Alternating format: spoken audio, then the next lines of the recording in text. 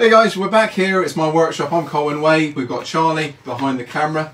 Um, today is um, going to be a full one. So this is all about bringing the skill centre to your home.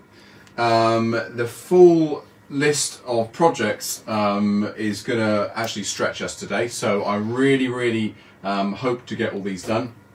Um, we're going to make um, a mixture of things. Let just go over some of the things that we made last week, just to show you that uh, um, I, I stopped working after the uh, the camera goes off. We are we are doing things all the time. We're making things all the time. So if you remember last week, we'd done a mixture of things. Really, we had a technical day, um, and I can't even remember what we were doing on Tuesday. I'm sure it'll come back to me in a minute. But we looked at some thread chasing. That's right, thread chasing, long hole boring. Uh, we looked at creating um, scrap wood bowls, all those sorts of things. So I have finished a few things. So that's our lamp that we um, we finished. I've got to put the flex in still, so that's just loosely screwed onto there, but the side hole is in now. I made the bottom hole a little bit deeper so we can add things like um, uh, cord clamps, which is really, really important. And if you remember, that was inspired by my first piece I ever turned about 37 years ago. That was this one. Since talking to you last, I've just skimmed the outside edge. So I haven't messed around with the shape too much. Um, I think it's important is to, to remember where we where we start. So I've, I've kept that the same. But what I wanted to do is brighten up. So it's just turned. I've still got to sand and polish it. And then I'm going to fit it up. And I'm going to keep that one. It's my first ever piece of turning. So really important. Um, so that's those two. Um, what else we did? We've done the thread chasing as well. So one of the pieces, I've actually turned this to a little box just for a little bit of fun so I can take around, demonstrate now. Now it's got an extra part of demonstration or an extra um, project in the demonstrating list. If you remember, that was a little bit of thread chasing. So internal, external thread.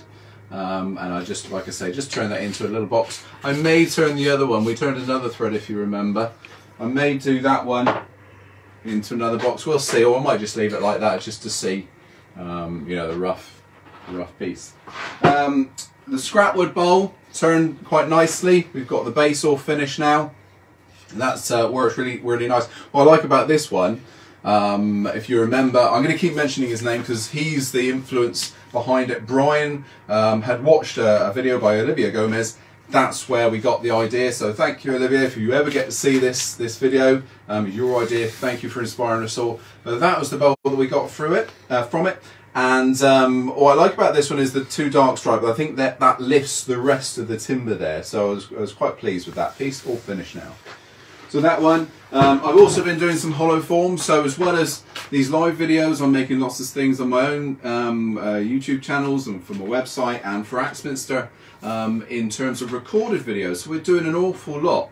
So um, one of the highlights uh, in between shooting live videos last week was the Tiki Gods. Now this is going to be to promote a tool called the Arbortech.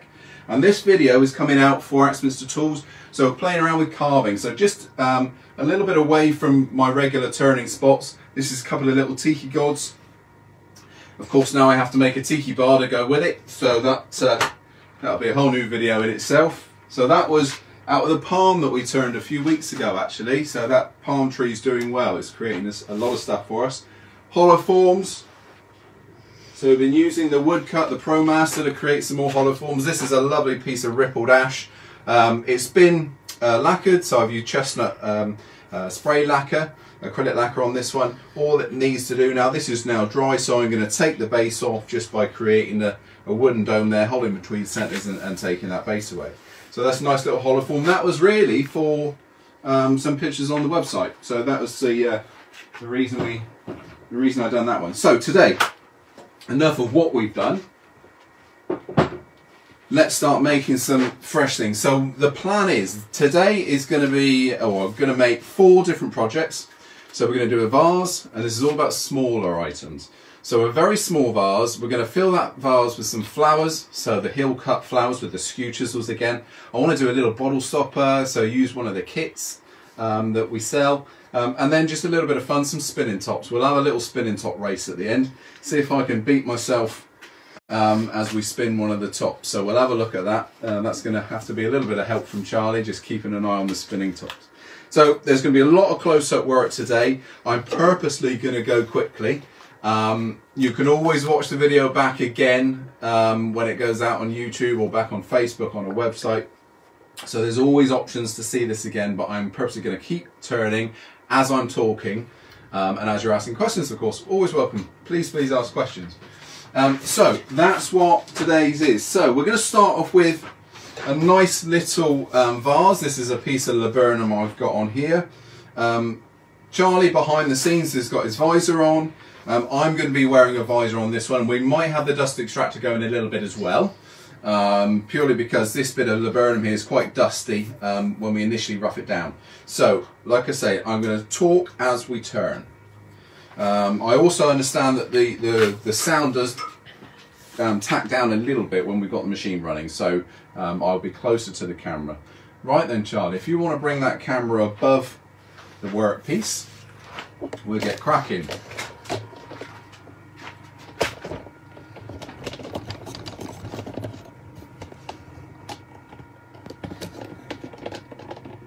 Lovely. So you can see that. I'll move the light. We don't need that light in your way. And we've got lights on the camera if we need them, and I think we will actually. Let me just put some light on. Tell me, Charlie, if it bleeds out. Right, I'm going to whip through this one. So this is a piece of laburnum, and we're about to do a nice little vase. Charlie's just standing to one side, out of the way, just in case. Charlie, let's pop the dust extractor on while I rough this down.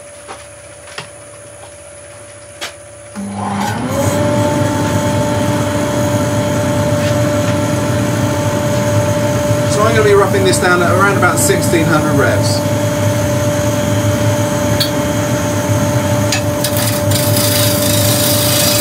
So this is a three quarter roughing gouge on the tool rest.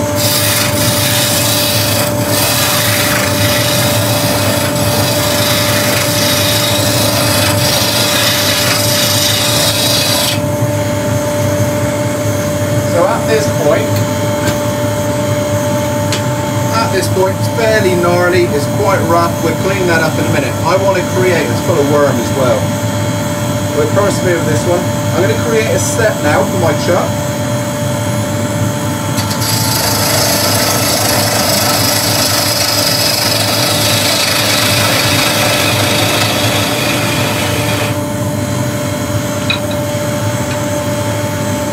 I've already sized my calipers What's the long centre?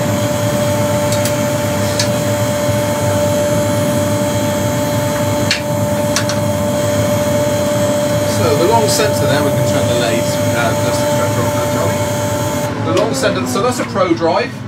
Pro Drives are available in the smaller 16mm or the bigger 22. Okay. So, and they basically have a little sprung centre. That centre sprung centre, so this drives using those teeth. I use that far more now than a four prong drive. I find it far more efficient. There we are. So that's prepped for the chuck. So let's get the chuck on the lathe.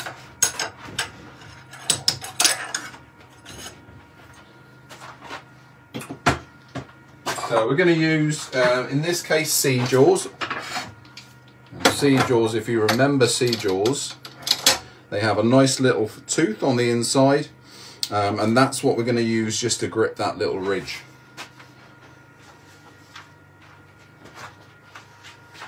So we'll do this super quick. I am going to sand. I'd like to finish this. There we are. At this stage I'm not overly concerned if that's not centered up. Let's pop the tool rest there. If I can get the tailstock center to make contact, we will. Let's use a smaller tool rest. There we are. Now I can get that centre in. Just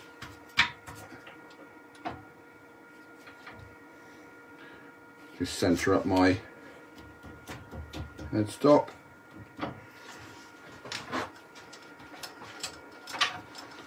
There we are, and we're back turning again. If you're into production turning, if you're going to be production turning, then you do all everything to that stage before you move on. Okay, back with the visor. I'm going to use a small bowl gouge next. And we're just going to start off with a nice skew cut, so 45 degrees, bevel rubbing.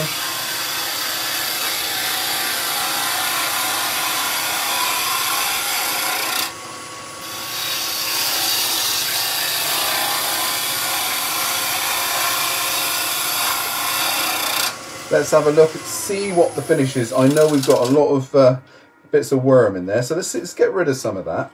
What's going to happen here, of course, with the um, the heartwood being a different colour, we're going to get that lovely transition between the heart and the sap. There we go. This is only a small vase. We're going to turn the flowers to suit this. So, I think now if we can take the tailstock out of the way. The tailstock's going to need to be there um, because we're going to drill a hole in a second.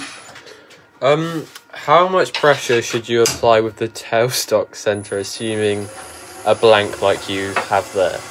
Um, how much pressure? I tend to go soon as we soon as we meet resistance, then I'll give it usually about a turn. Um, it obviously depends on size of the workpiece and the centres that we're using. Depends on the size of the workpiece and the centres that you're using to how much pressure you put on. If it's a really mushy pit bit and it's a big vase, for instance, then you want a big centre and you can add a lot more pressure. Um, and also you're going to keep that pressure on for longer. Right, Charlie, this is really important today, your job of telling me how much time I'm wasting. Um, It's been 15 minutes. 15 minutes, right. A lot of that was me talking at the beginning, so we're doing all right. So I'm going to use, this is just a bit I've got ready for the um, bottle stoppers actually, but that's going to be the bit we use. Around about 900 revs for drilling is ideal. I'm not going in deep, this is just going to be a fairly short one and it's a dried flower vase.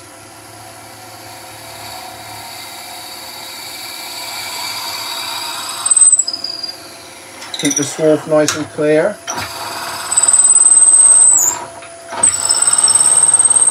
Always one hand on the chuck.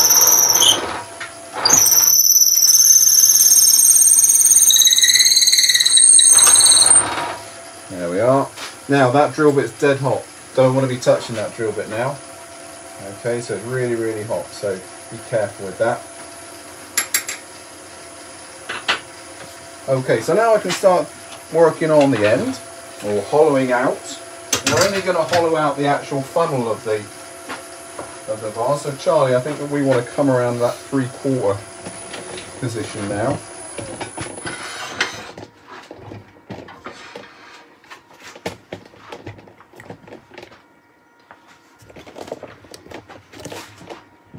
That's it. Come down nice and low so you can see.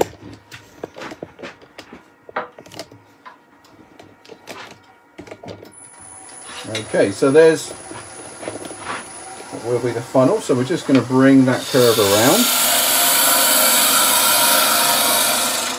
I'm going to swap over. We've got rid of a lot of that debris now. I'm just going to go to my goggles so you can hear what I'm saying a little bit easier. So I want a nice little convex curve. So rub the bevel first. And then as you push up the length of the tool, flute around about the two o'clock position. Just keep moving that handle round and that curve will form nicely. So one more of those.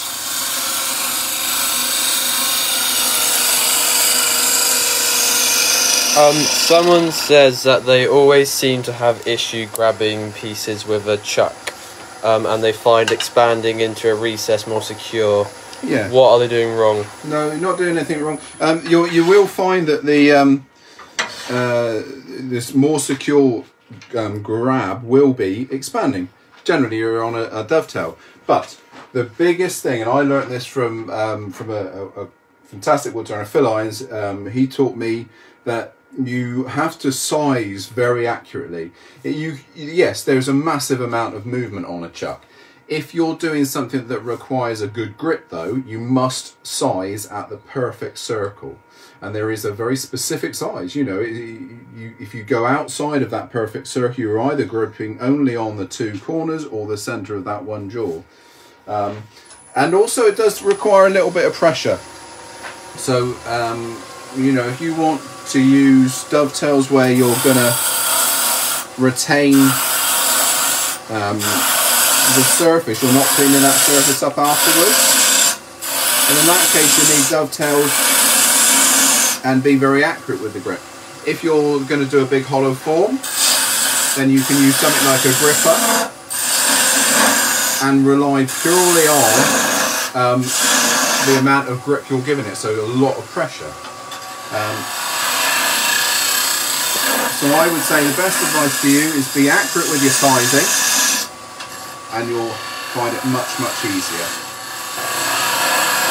Or more secure anyway. There we are. So I'm just going to start shaping the neck now.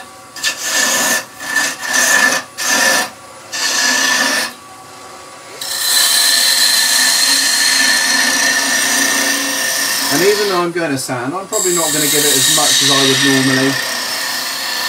There we are.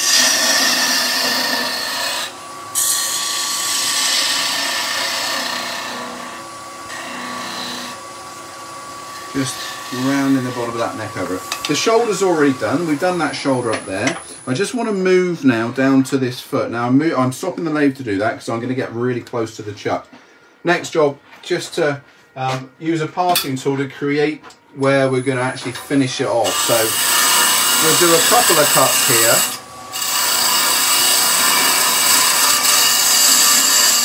Some people are saying the connection is poor, so I'm just going to check. Yeah. It is a really tough connection today. I've already looked at this, guys. I don't know what it is. Um, I'm going to blame the heat. It's lovely down here. Um, I don't know what it is. The connection has been amazing for so many weeks now. Um, the only similarity I can assume is we'll blame it on the weather.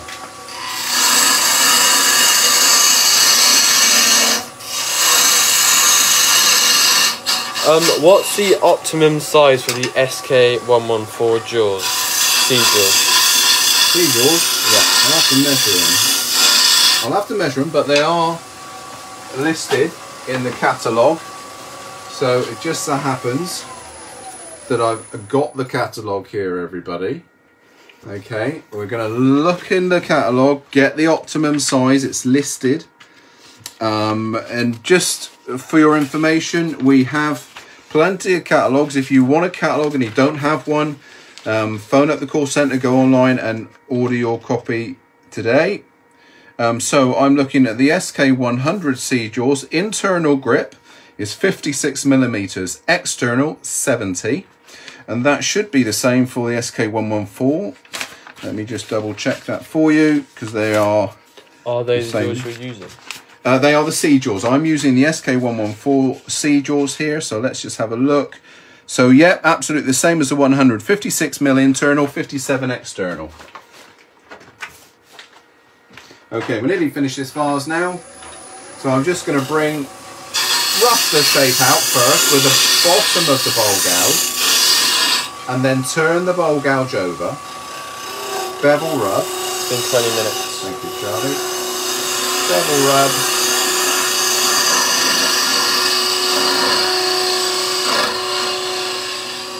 Nice and controlled there, just to make sure. So there we are. Have a look at that. So we can start sanding that now. So there's a mixture of techniques there. We're using a little bit of a roughing cut. We're using that bevel rubbing cut as well, which is also important. Then we can go straight on now, Charlie. I'm going to do some sanding very quickly. We're to round over. Going round over that hedge. I don't like sharp edges on these types of things. They damage ever so quickly. Dust extraction on, buddy.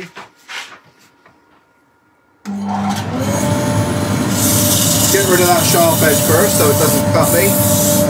Tidy up the inside of that curve.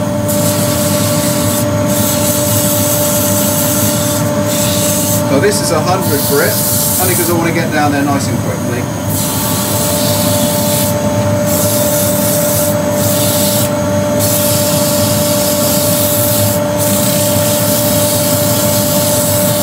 Uh, there we are, 150.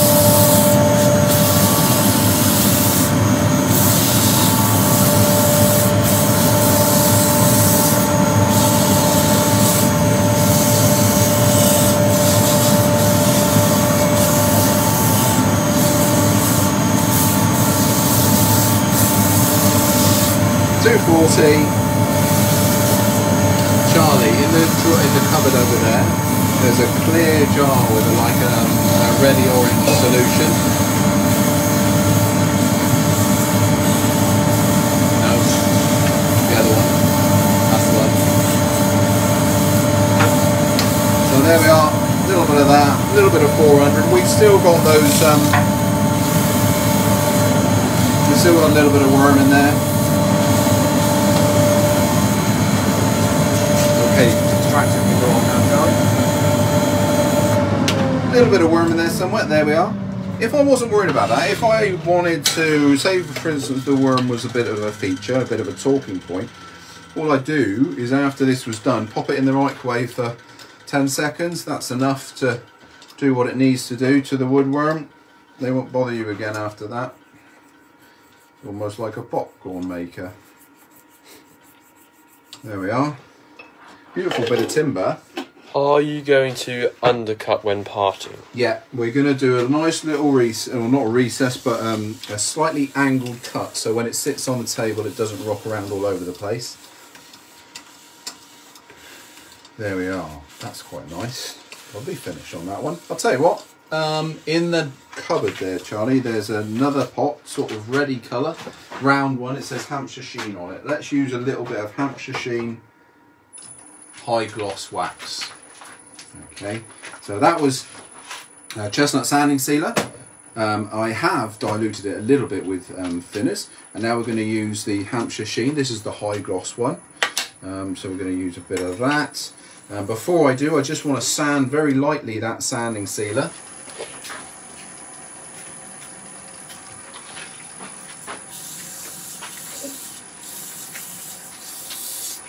There we go. I'm whizzing through this really quickly, guys, because I want to get more loads of stuff in for you today. There we are. So a bit of the bit of the high gloss.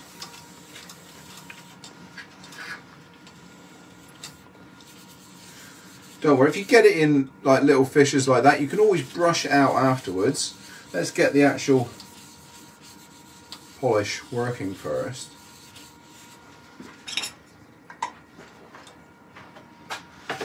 Right, handful of shavings or some tissue will wipe off some of that excess. This stuff, um, I don't know the exact formula, um, Martin will probably add, but there's a lot of, Martin's the owner of uh, Hampshire Sheen by the way, um, there's a lot of carnauba wax in here I believe, um, and we've spoken about carnauba a lot. It gives us a wonderful finish, but that that wax that we've just put on, look how little I put on and the effect it's giving. There we are.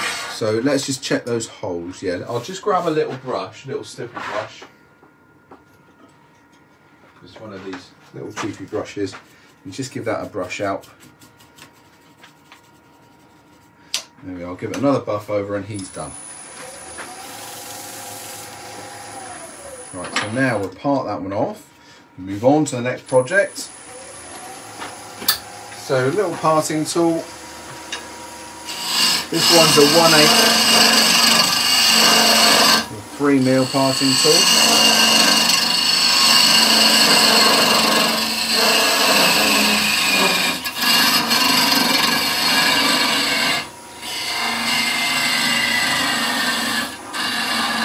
Suppose there's about seven mil there now. So without anything on your wrists or your arm, can you see in there?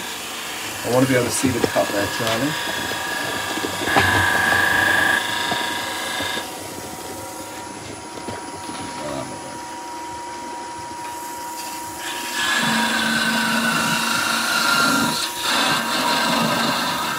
When you're parting off, just take your time. Tiny, tiny little cut nice and gentle. If you're nice and gentle, you'll only have a tiny little nib at the end to take off. And that's all that happens. As dramatic as it gets, it can be fairly nervy to start with. It can be fairly nervy to start with.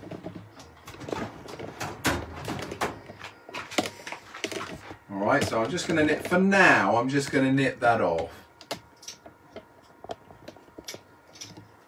There we are. Come in a little bit closer, mate. Don't need the sign now. All right, so that's what we've got. I, I would want to sand that, so I put my little rotary sander back in the lathe again just to make that nice and clean. A little bit of wax on the bottom, but that's it. That's a nice little vase. Um, and that was a relatively small piece of timber. It was a limb section. Now we're just going to make a few little flowers to put in there. Or I'm going to make a single flower. I've already prepped up some and coloured them for you. Um, but I just want to show you how we can make some little flowers.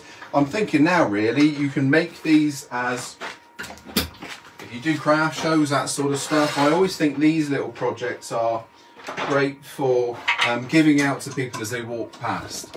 Um, you entice people in if you can give things away, and these are made so so quickly um, that you can do exactly that.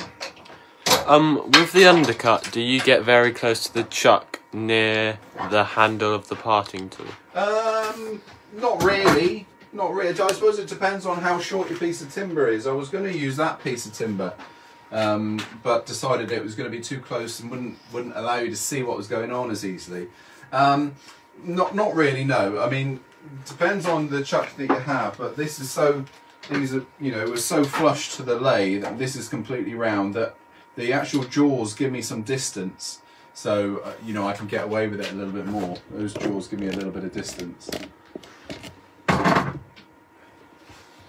Okay, so let's do some flowers. So we're going to add a different chuck, or the same type of chuck with a different jaw.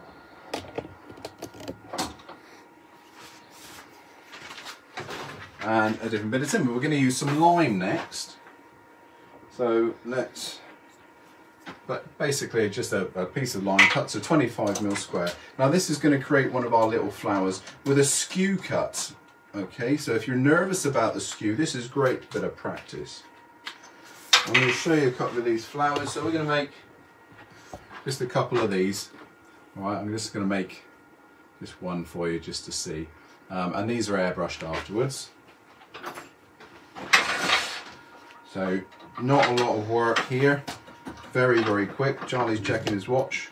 Um, the longest project was the vase.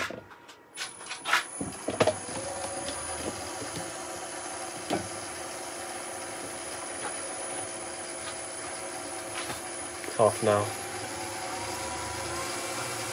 So we're going to rough down.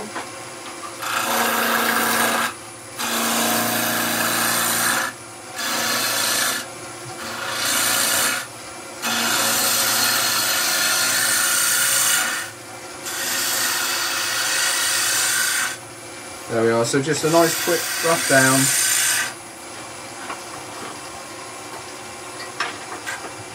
And now we're going to slow the lathe down a little bit.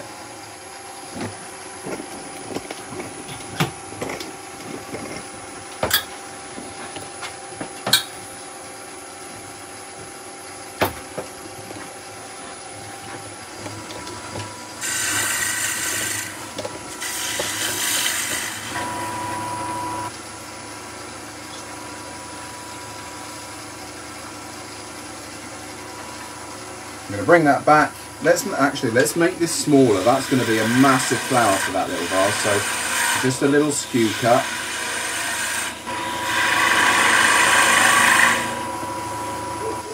Now we're going to use the heel of the skew and push the fibres.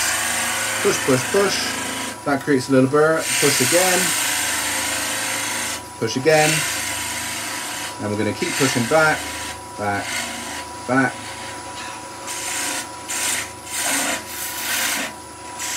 Um, could you hold that with the o- O'Donnell jaws? Absolutely, yes. I would have said the the OD ones, the smaller, would be better, um, or the cylinder jaws, the small type. Again, they would be they would be good. Um, compressor's just going on now, and I'm going to start. Let's just put a single colour. Oh no, we'll put a couple of colours on here. Lathe running very slowly. Um, we're going to start off with a nice deep red in the middle.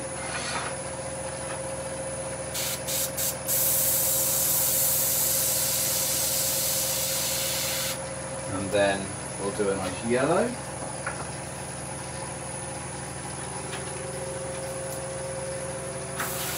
And of course, where the yellow and the red blend over each other, you get that orange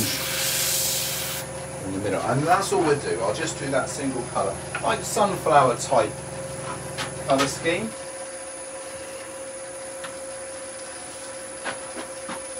We can go off. I'm going to show you the colour in a second when we take this one off the machine. So same thing here, we're going to part off now though, instead of with a parting tool, just with a skew. So just pare down. It's nice doing little projects like this with the skew because it's not that intimidating. If you get a catch, oh well, just carry on and do another one. There we are, nice little colourful flower, that one. Now what you would do with that one is a little um, one millimeter hole in the back, then use florist wire. Now you can get green florist wire, which is ideal. Um, I haven't got green at the moment, so I'm resorting to um, my regular wire. But even so, that's going to give us a real mixture of flowers. So we've got some different colour schemes going on there, some little daffodils, um, some little anemones. Um, and then just, we'll use those in our vase. Okay, and you know, at a craft show, just giving a few of those away um, or helping them to decorate your vase, um, I'm sure you'll be really, really popular. So nice little project. We're gonna keep, we're gonna show you these projects all at the end again. So um, don't worry if things are going a little bit too quick for you. We will get get you a second view. What type of paint are you using? So we're using Chestnut Spirit Stain. Chestnut Spirit Stain. So as a woody, as woodworkers, that Spirit Stain works so well on timber. Um, you can use airbrush paint, but I like the transition that you get from the stain it, and it dries so quickly. You know, that was dry instantly. What, what else have we got to do? So we're going to do, how much time have I had, Charlie? 33 minutes. 33 minutes. So we're going to do it. We're going to do it. We're going to go over now to bottle stopper. Could we just have a close up of the daff, the daffodil? Daffodils, Quickly. yeah. Daffodils are always one of the more popular ones. There we are, little daffodil. So just a longer cut when you get to that centre and only a couple of frills to the outside edge um, for those.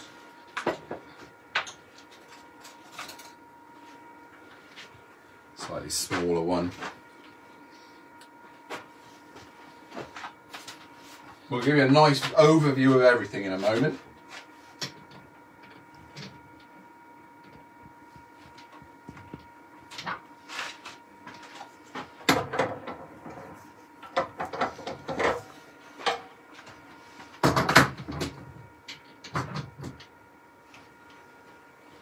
Right, we're just gonna, I'm just gonna prep this one up. I wanted to, I completely forgot about this, I was gonna prep this up before we actually went live on here.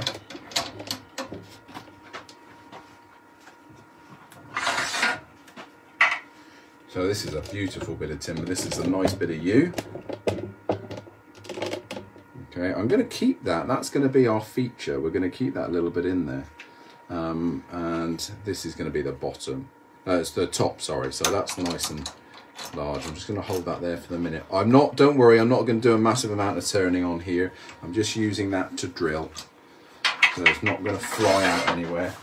Tailstock's going to be needed. I'm going to use that same drill bit. It was, it's an 8 mil thread on our bottle stoppers. I'm going to show you a couple of type of bottle stoppers now. So that's one. That's that would be more the, the, the traditional one that you see an awful lot. These are fairly new to us. These these are uh, uh, another interesting one that's out there, and both of those shapes are available in the gold and the silver. But basically, what I need to do, you've got a joiner between the wood and the metal. So it's this piece here. You've got a cutting thread for the wood, and you've got a machine thread to to screw into here. So I need to actually fix that in there before I start turning it. Uh, we always turn or drill the hole before you do any turning. And we're going to use a special arbor then to drive that bottle stopper.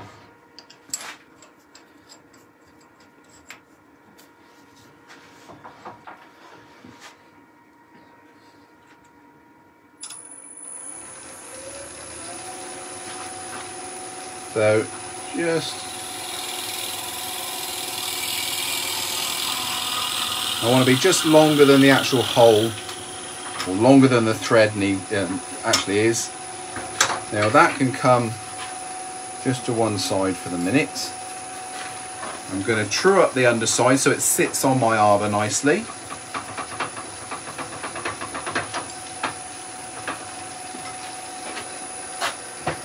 Um, what gauge florist wire was it? Gauge? Or- gauge? Gauge. Now you've got me. This is someone that knows their florist wire, obviously. Um,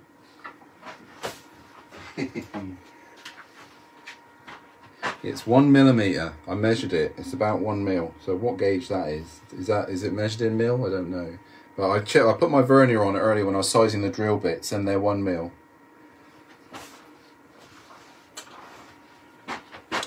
Or if you haven't got one mil, just add a bit more glue epoxy resin I was using to glue those in.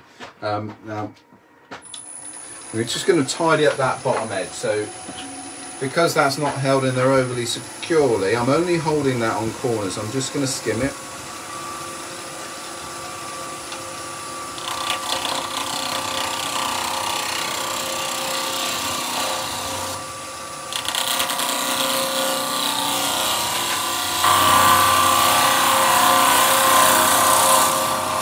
There we are, that's enough. Don't do any more turning than that. You don't need to. We're just cleaning up that underside. That's all we're doing. So right, that can now come out. The chuck can come off. And we're going to use a little a light pull. Light pull? Bottle stopper arbor.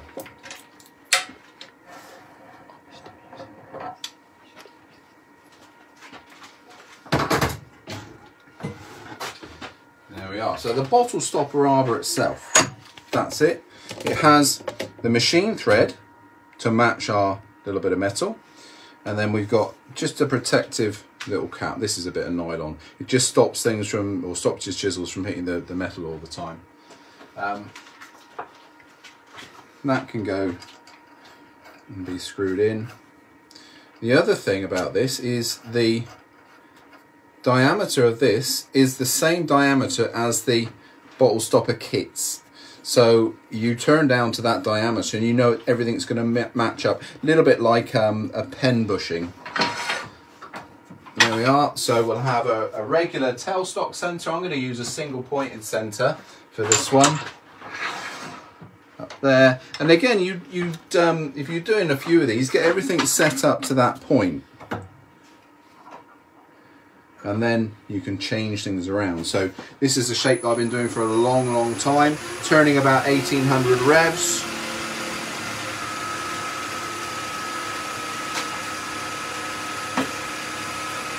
So we use a bowl gouge initially, going to make a roughing cut.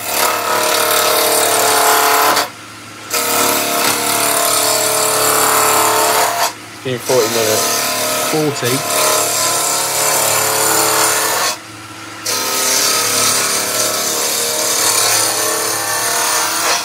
So once we've done the initial roughing cut,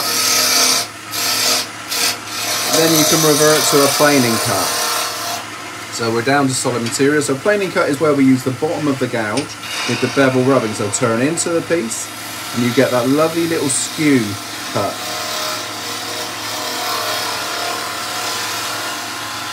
There we are. So let's start shaping. So let's go for a little bead.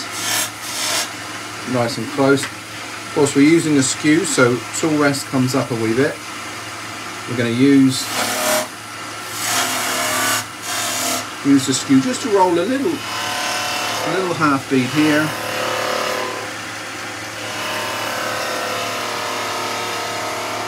Using the heel We'll put a little reverse cut. What am I doing? I've got to get down to that diameter. Forget that, guys. Sorry. Um, do you use a bowl gouge rather roughing gouge because it's a small piece? So yes, exactly that. If you think that poor little thread in there, if I was to use a big bowl gouge, what it would do to it. So there we are, that's better. So I was forgotten, forgetting what I was doing then for a minute. So now I can do my V cut and roll over.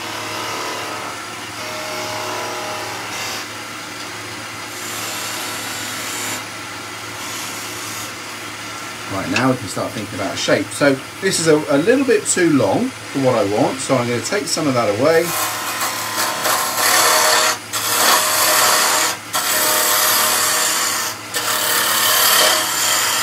And then round over. Again, my my background really is, is production work. So, you know, you'll see me picking up fewer tools than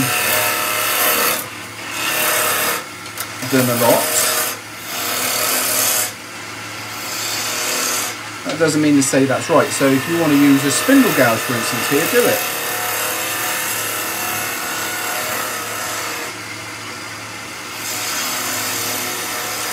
All right, that's as deep as I'm going there because we've got that that little hole for the thread.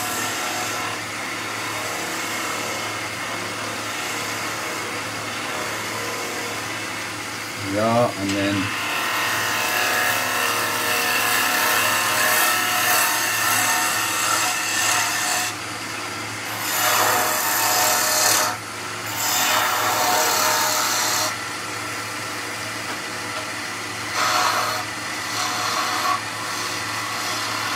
back to the skew.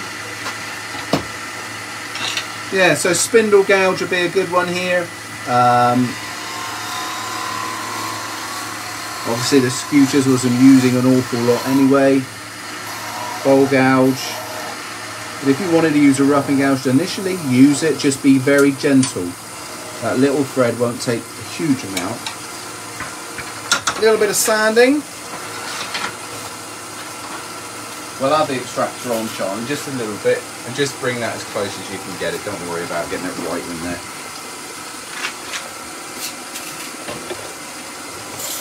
Alright.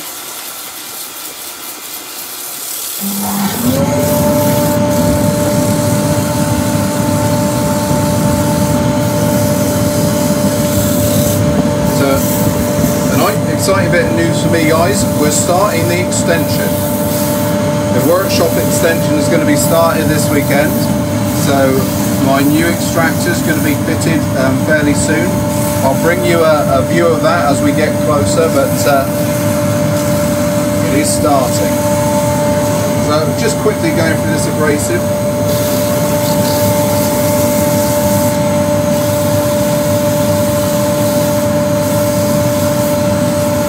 A lot going on in this piece again. This is um, fairly gnarly bit. There's a few cracks and bits of worm and stuff. But you're going to get the idea. So we're down to 240 now. Everything I've been doing incidentally um, is the same grit. So we start with 100, 150, 240, 400. And then if the timber needs it, we go on to a 600. Timber, timber will only need it if it's a fairly coarse, uh, sorry, a fairly dense material. Um, otherwise you'll find scratches will show up otherwise. It's been 45 minutes. 45 minutes So this week, like I said, our intention is to do these small bits today, and then on Thursday we're into um, useful workshop tools, and we're going to make um, a workshop mallet and uh, a, a. So we'll show you the bradawl. I'm going to show you at the end of this demonstration as well what we're doing. Um, do you get the sandpaper through Axminster? Yeah, absolutely. So this is known as RB paper, the ultimate abrasive. There we are. Just in case you didn't hear that, guys, that was RB paper, or otherwise known as the ultimate abrasive. Got a flickery light. There we are. Better. Right, a little bit of chestnut friction polish.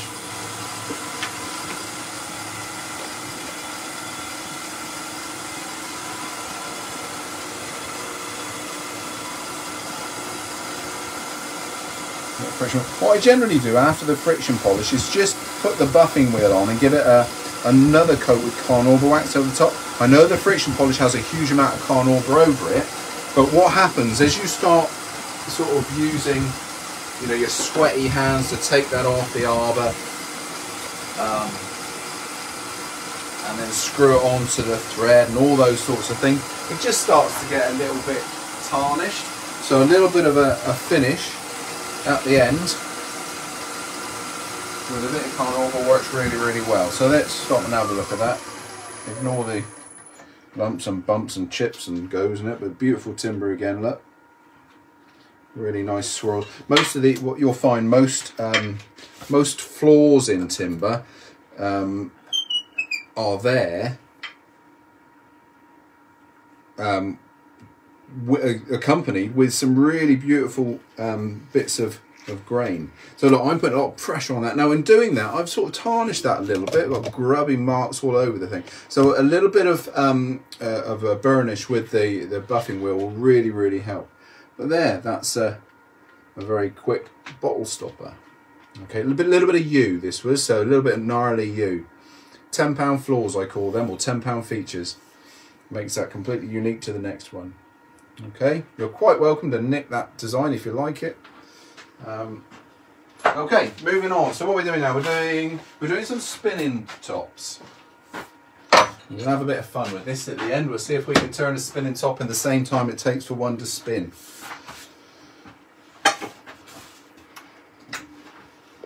Okay. Um, keep your questions coming in even when we're not live, guys, because we do get to them. We will answer them, and we're possibly can't confirm this yet, but possibly next week we're going to look at doing another Q and A. Okay, so spinning tops. I'll do one nice and slowly and explain it, and then we'll speed one up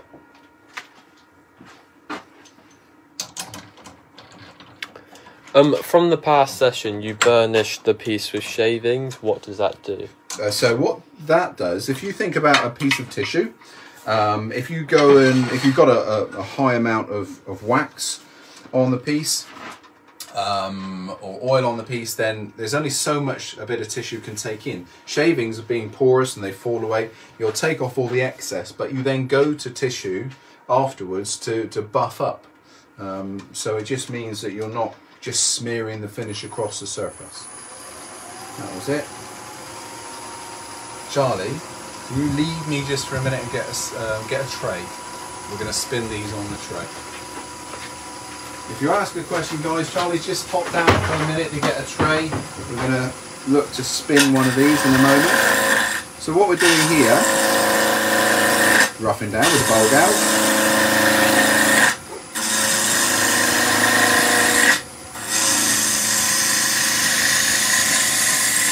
And we're going to turn in the turn in the flute to give me a skew cut. Then we can start thinking about the shape. Now I need to sharpen the gouge. So before I carry on, I'm going to sharpen that gouge. In fact, let's just, as Charlie's not here, let's just go to a different gouge to keep that going.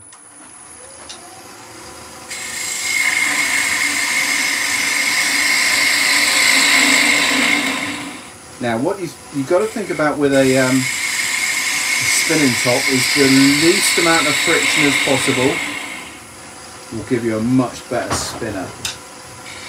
Now, I want this one to spin and spin and spin because I'm going to try and turn the top in the time it takes this one to run down.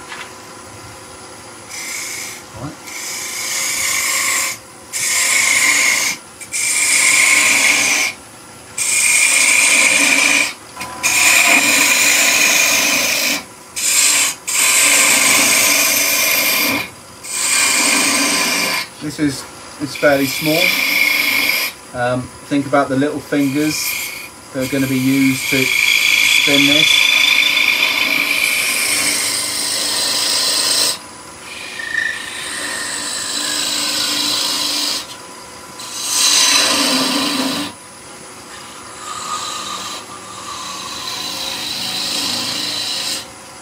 This is a 6 mil bowl gouge, this one.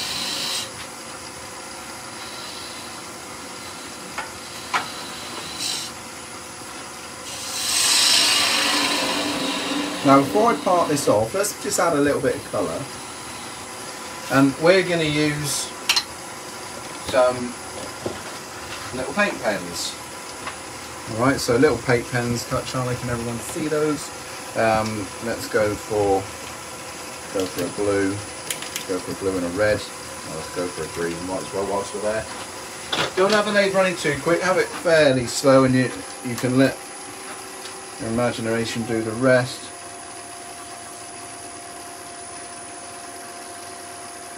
Lovely, vibrant colours. These paint pens. Um, get these pretty much any um, anywhere that sells sort of office supplies.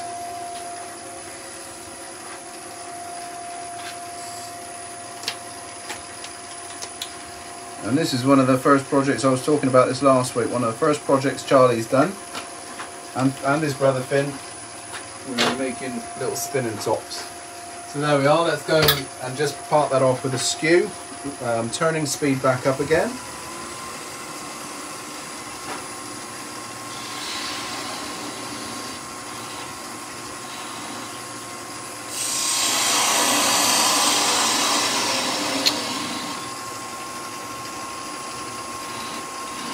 Right? Yeah.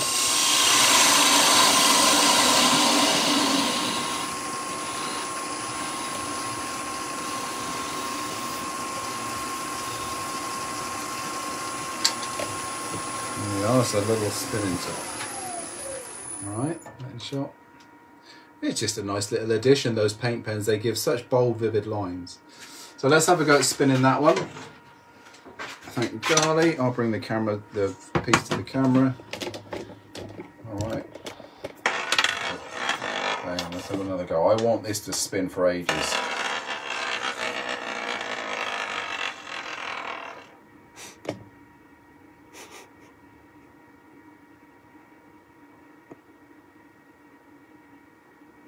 Don't have enough time to wait for that. Now you're going to have to trust me, everybody, because what I'll do is I'll get Charlie panning back and forward. Um, let's we'll put that there, Charlie. In a minute we're going to have a spin, but I want to set myself up. If I put on the my lathe bed, I'll stop it through the shavings. So And what would be a good first lathe? What a good first lathe. A good first lathe. I love this machine. Um, I this is the best best lathe I've ever owned. The best lathe Axminster tools have ever produced, in my opinion. Um, however, you have to be able to afford a lathe like this. If you are just starting out and pennies are are stretched, then I would go with a benchtop machine, maybe a small one, a variable speed one, if you can afford a variable speed one. Um, but basically, what I'm getting at is, is what you can afford. Um, if you want to do all the projects I've done today, then you can be um, you can have a small benchtop machine. Um, the one of the good craft machines that we do is the the 1000. So sorry, it's the 1100 now. Um, that's the distance between uh, centres. So it's floor standing, proper lathe, variable speed through the Varimatic um, handle. Um, great machine to get you started. It's Right. been 55 minutes. 55 minutes, right? We're going to spin. Just a quick picture of me spinning, Charlie. Quick, quick, quick. Ready? Oh, that was a really poor spin. Wait, what, what we do? Back to me. So the main thing here is it has to be secure.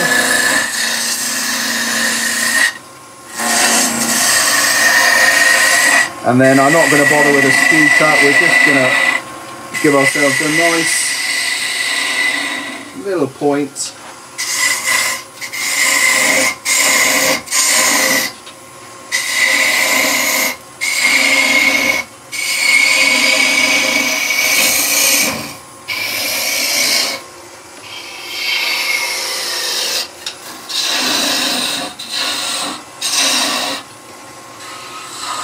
Going to colour it.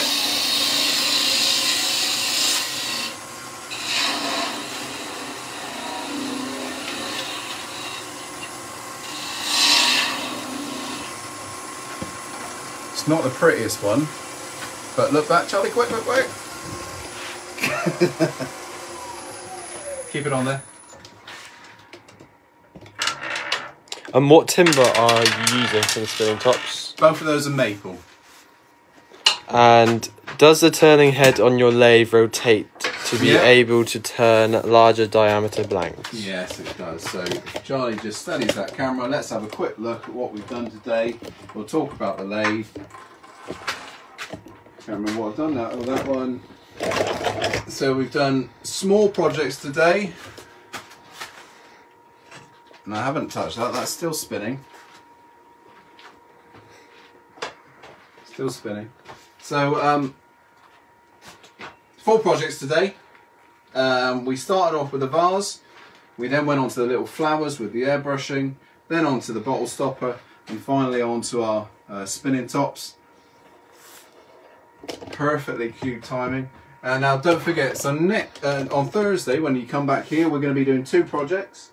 I want to do workshop mallet. Really useful. I'm using this one all the time, and you've seen me use this time and time again. This little, um, that's a six-inch nail, copper piping, and then we know how to turn the handle. But I'm going to go through the whole process with you. So a couple of really useful workshop items. That's on Thursday. Start thinking about questions. That, like I said, potentially next week we're going to do a Q&A session again. Um, but I hope you've enjoyed that. In the meantime, um, have a go. They're all a bit of fun. The speed thing was just a bit of fun for me. Um, if you're new to turning, speed is not an issue. I keep telling you that. Um, so until Thursday, we're going to see you um, same time, same place, four o'clock at my workshop. Um, see you then. Bye bye.